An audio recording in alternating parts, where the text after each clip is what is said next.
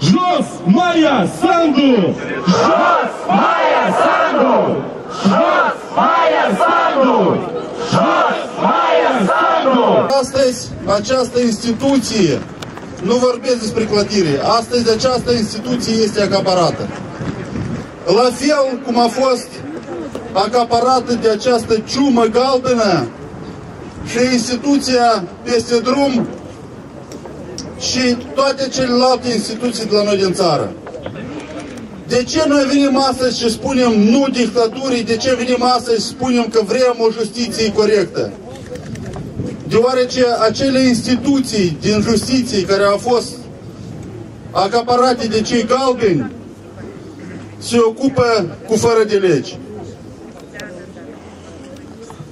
15, în ur- 15 minute în urmă am avut o discuție cu înaltul reprezentant a OSCE-ului aici la Parlament.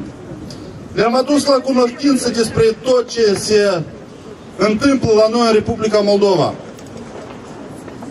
Cum noi, împreună cu dumneavoastră, atunci, la data de 24 februarie, când s-a instituit starea de urgență, cu toți am plecat în raioane și ne ocupam cu acele crize, probleme care se confruntă Republica Moldova. Am încercat o lună de zile să menținem pacea interetnică, o lună de zile să menținem stabilitate și pace la noi Republica Moldova. Din păcate, cei care se află astăzi la guvernare nu vor ca noi, în țara noastră, să avem această pace, nu vor ca la noi, în Republica Moldova, să se mențină stabilitatea. Ei au preferat păcii și stabilității, ei au preferat, au preferat să fie dezordine. Împreună cu cei de la procuratură, astăzi ei încearcă pe noi să ne intimideze. A început toate din raioane.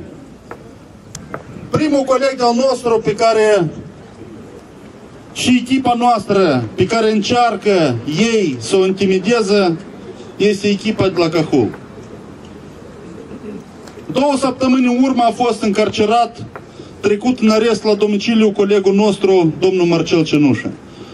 Un om excepțional, ofițer, care în toată această perioadă, fiind președinte de raion, s-a străduit să rezolve acele probleme care se confruntă și raionul și țara pe ansamblu.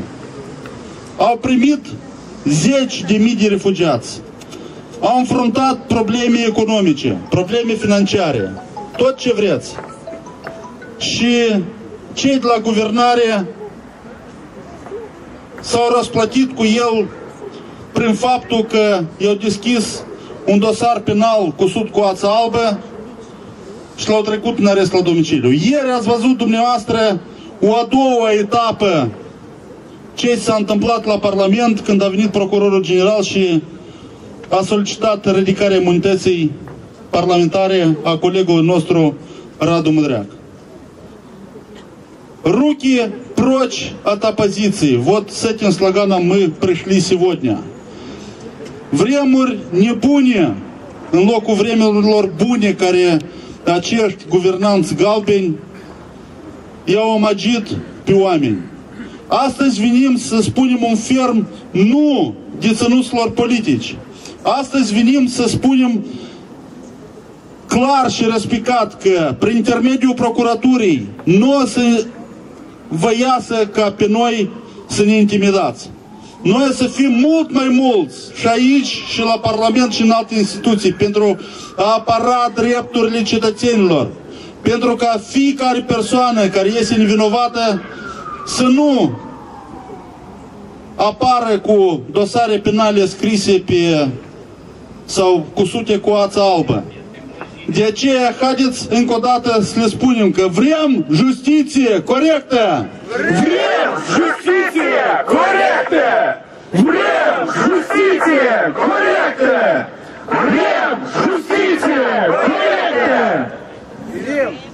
Stimați colegi, avem în luna august o să avem un an de zile de când în Republica Moldova încet cu încet s-a instituit dictatura.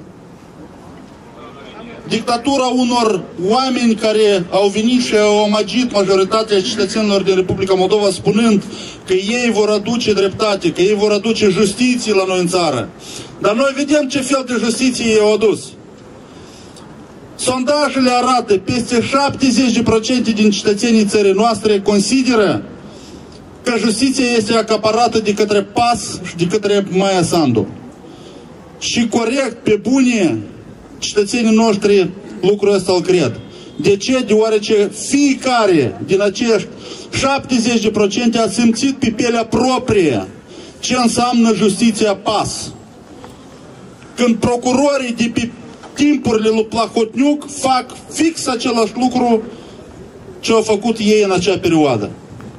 Avem deținuți politici, avem businessmani care li se iau averile, avem fost procurori care acaparau și își luau acele ce au fost investiții de către businessmani la noi în țară.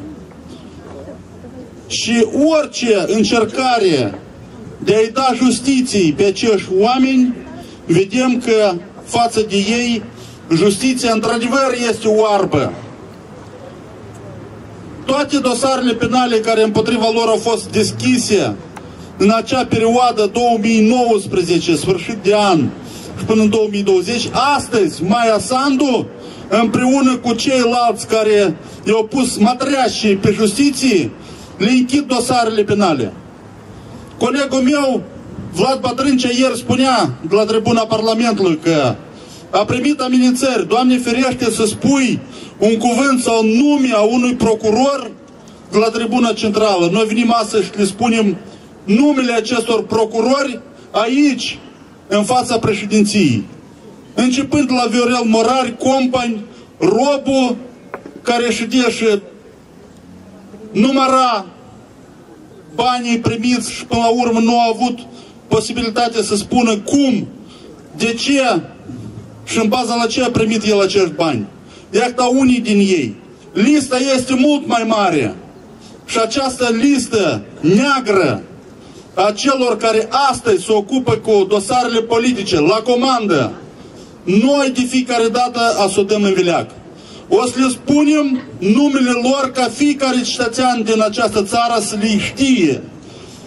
Iar peste ceva timp să mă credeți că o să fie dat și ei justiție. Și eu sunt convins când le va veni ziua lor, justiția față de ei nu o să fie una oarbă. O să vadă, o să cântărească și o să primească fiecare ceea ce merită. Haideți încă o dată să spunem,